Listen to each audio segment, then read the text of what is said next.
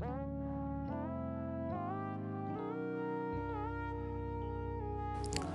This is E. Wilson, the conversator from the JTC X-Change Radio Show. And we are coming to you live from Houston, Texas at uh, Riceville Mount Olive Baptist Church uh, for the Power of the Resurrection concert, Hymns for Him uh, by V. Michael McKay and Yolanda Adams. And I have the privilege of having with me Reverend Trudy Whitaker Huff, who has come originally from Raleigh, Durham, North Carolina, a small city in between there somewhere. But welcome to Houston tonight. How are you doing? Excellent, excellent. Just happy to be here tonight. Wonderful. Praising God all the way. I'm talking about she ain't waiting to get inside. She's doing it right now. So let me ask you this, um, Reverend Trudy. Um, would you think this is the power of the resurrection concert? You know, we know Easter Sunday is next Sunday, but we know the resurrection is 365 days a year, 24 hours a day. When you think about the power of the resurrection, what does that mean to you personally? Personally, it means to me is every single day I'm able to get up, pick up the cross, and follow Jesus because of what he has already done and what he's doing right now and even that what he's going to do. So I praise God for the power because when I'm at my weakest and I remember to build myself up in Him, I know that everything is already under the blood. And all I need to do is go forward in Him, listening to Him, acknowledging Him, and allowing Him to shine through me so that others can be blessed and get just a taste of what He's doing for me. So it's an awesome experience to understand the power. All right, I, I have to ask you this now. I have to ask you this.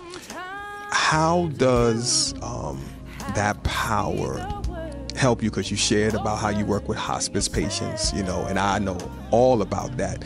Um, how how does that um, keep you ahead of the game, if I can say that, from an East Coast standpoint, ahead of the game, uh, as far as maybe those who work in that field who don't have Jesus? What's the real difference there? The real difference is that you know we were taught to give life we were taught to encourage one another. We were taught to, our families, our children are born and raised and go to school and do everything under the sun.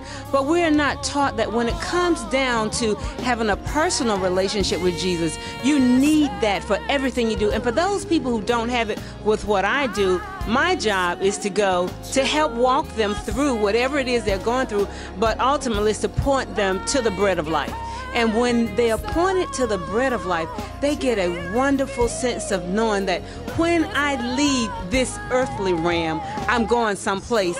And the good thing is, we weep, we cry, but it's not without hope because we know that because we believe in Jesus, we'll see our loved ones going on ahead of us. But those people who don't have that, they don't have any hope. They don't have anything to reach for. They don't have anything to strengthen them on the long journey that they face called, you know, we're going to die. We're going to shed this body. So I think for those people who don't have hope, you know, I would love to be that person, that seed planted there to help them seek the Lord out so that they can get that kind of hope that they need. And it helps their loved ones who's coming up behind them to have something to look forward to. So it gets to be hard for them but for me, it helps me because my ultimate thought is when I'm with a saint that goes on to be with the Lord, my, my whole thought is as the tears roll down my cheek, I look and say, Lord, could I be that much close in your presence when you come to bring a loved one home? It's an awesome experience. Just knowing as bad as things can be, it's all right because that power is so appropriate. And then when we look at what we're doing today, the songs that are being sung today, music can help usher us into the presence of the Lord as well as it takes us back to say, my God, look at how far God has brought us. Where would I be without him? What what would I be doing? So it is really, really, mm, when I think about the power, my, my, my, my tagline is in his presence.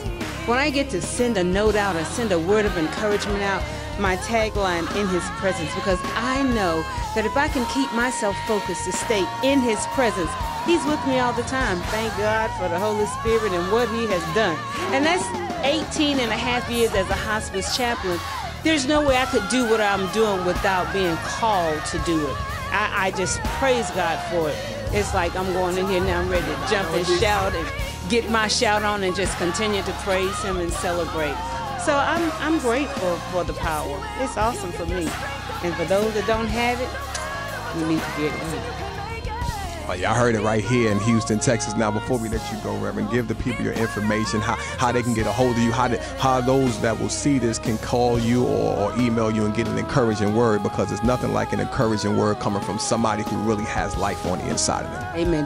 Uh, you can reach me at twhuff at AOL.com. You can call me 713 515 4861 and let me help you as you help me as we encourage each other to be in his presence because that's where the power is. Well, there y'all heard it right here from uh, where we at. I, I forgot where we in Houston. That's right. We in Houston at uh, Riceville, Riceville, Mount Olive Baptist Church. Reverend, thank you so much for your time and stopping by and sharing that word of encouragement. Thank you for having me. God bless you. All right, all right, right, right here. Uh, what I pastor to mess me up right here. I'm the conversator. That's right, E. Wilson. You want more information on the JTC X-Change? Go to www.jtc the letter exchange.org. Remember, if you're going to have a conversation, make it a good one. We're out.